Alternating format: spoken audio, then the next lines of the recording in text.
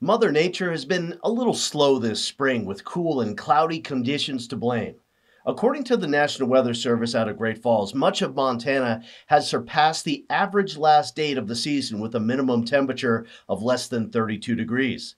The average last freeze for Great Falls is May 13th, Helena, May 9th, Havre, May 14th, Lewistown, and Cut Bank around May 20th but these are the average dates, which means some years are earlier and some years later.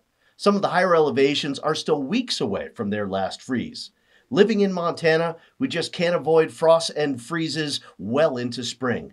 Memorial Day seems to be a safer date.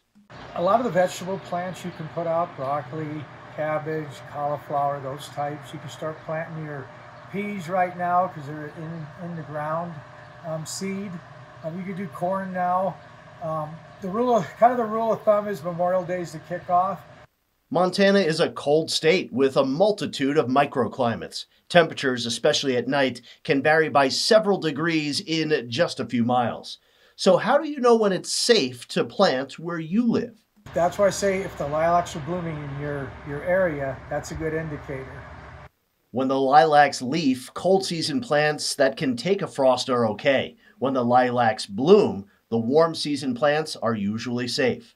And since we do live in Montana where cold and snow are possible year round, covering the plants with a cotton sheet, not plastic, could preserve your garden. This bud's for you. And now you're a little more weatherwise.